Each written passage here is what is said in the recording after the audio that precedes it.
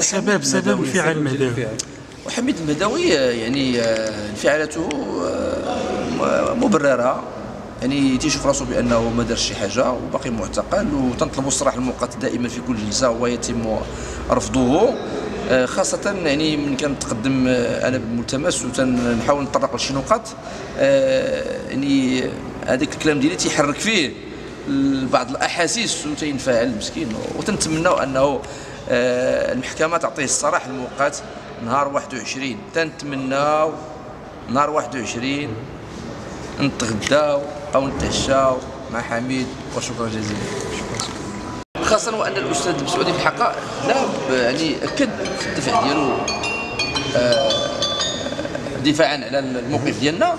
قال ديال المحكمة هي ديجا خذت القرار بمواصلة المناقشة في قرارها السابق اللي آه، قرر أنه آه، يبلغ المتهمين الغير حاضرين بالمحضر ومواصلة المناقشة. وبالتالي فنحن أمام وضع لا يمكن أن نغيره وأن نقرر هل سنعطي الكلمة للمحامين أو لا.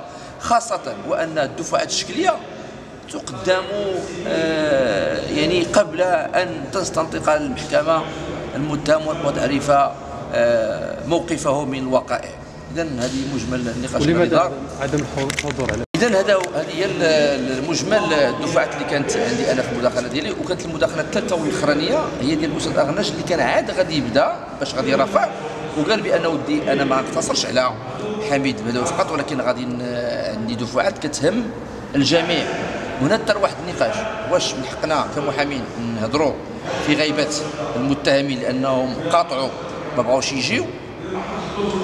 آه كان موقف ديال أحد الزملاء الطرف المدني واحد فيهم كان تيطالب بحرماننا من الكلمة ولكن زملاء آخرين خاصة الأستاذ طبيح اللي آه، أكد بأنه يحق لنا أو يحق للمحامي أن يتكلم في غيبة المتهم والطرف المدني ما كاين مشكل.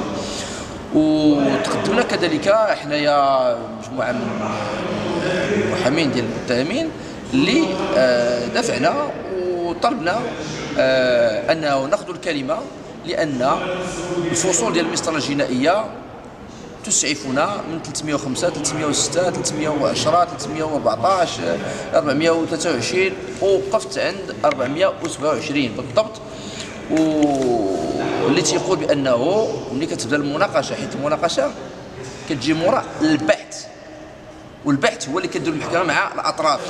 إذا من بعد كتجي المناقشة وفق الفصل 306 إذا ملي كتقول لي المناقشه راه تعطى الكلمة للمتهم أو دفاعه من أجل أن يتقدم بأوجه دفاعه ما قالتش قالت أو إما المتهم أو دفاعه والحاسم هنايا هو قرار محكمة النقد اللي تم الادلاء به اللي في واحد الملف تتعلق بحريق في الحسين النيس اللي هو جنائي.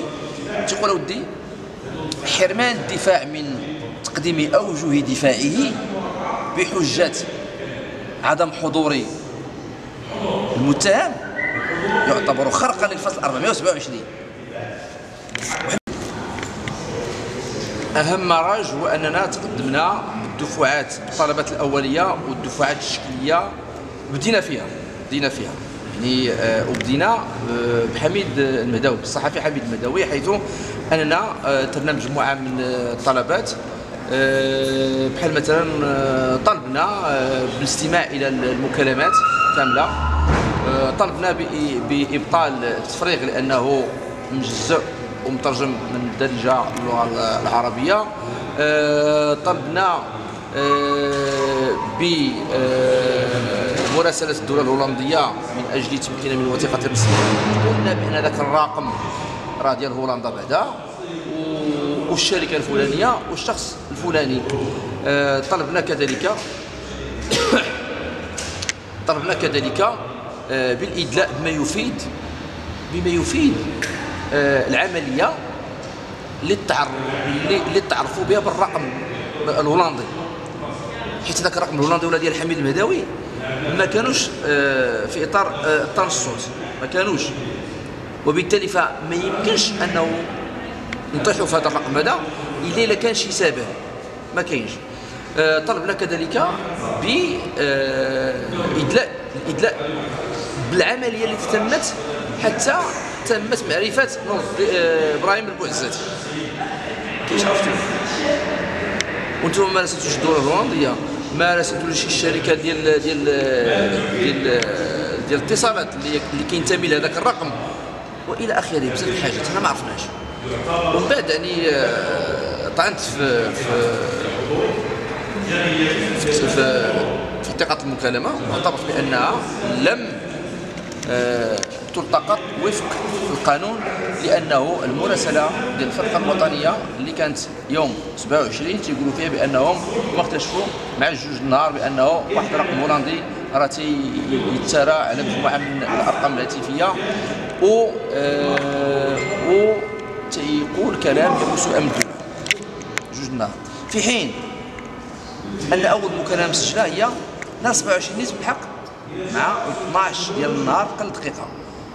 إذا ما يمكنش يرجعوا إذا وإلا راه آه، حميد هو اللي كانوا كيتصنتوا عليه ولا ذاك الرقم الهولندي شي حاجة جابوا تسجيل وبالتالي فما يمكنش أننا نطمئنوا الوثائق اللي كاينة خاصة وأن الموافقة ديال الوكيل العام نهار 27 بالتنصت على الرقم الهولندي بين قوسين توصلت به الفرقه الوطنية بال cachet نهار 30 5 ما يمكنلكش تصنت ليا نهار 27 لأن هذه بخلاصه لأن المرافعة راه كانت تقريبا في واحد ساعتين في الدفوع الشكلية وداك الشيء قبل ما تخرجوا ما تنسوش تابوناو في la chaîne YouTube. وبارطاجيو الفيديو وديروا j'aime. وتابعوا الدار على مواقع التواصل الاجتماعي.